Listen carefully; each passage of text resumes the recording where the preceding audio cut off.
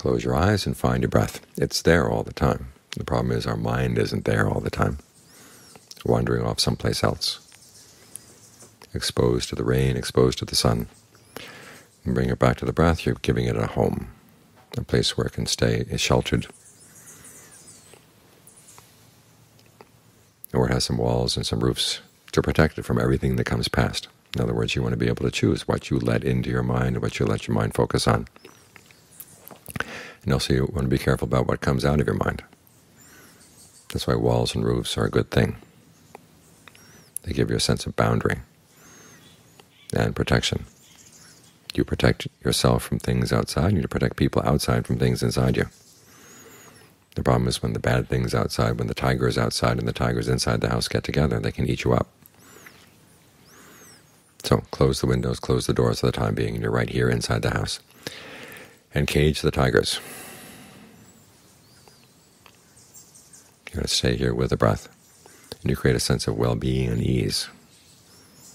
And as you find that the mind gets a greater sense of being at home in here,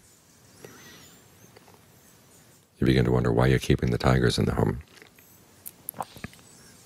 So you can begin to starve them. Although the tigers stand primarily for your anger, but for your other emotions as well. And you thought you had to have some protection from the tigers because you didn't have a roof and you didn't have walls, but now you have those roofs and walls. So the tigers are unnecessary.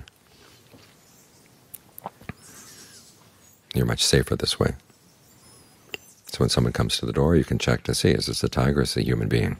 In other words, issues come in from outside. Are they kind of the issues that will help you in developing the mind, or are they going to just get you worked up for no purpose at all? I mean, some things will get you worked up a little bit for a purpose, but those are pretty rare. And then you can decide whether to let that person in or not.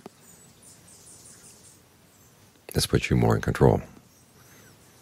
You don't need all those tigers anymore. You've got a sense of well-being inside that doesn't depend on them. And you've got protection that doesn't depend on them either. You've got the protection of concentration. You've got the protection of your discernment. When the Buddha gives an analogy for the fortress, mind is a fortress at the edge of a frontier. Your discernment is the wall.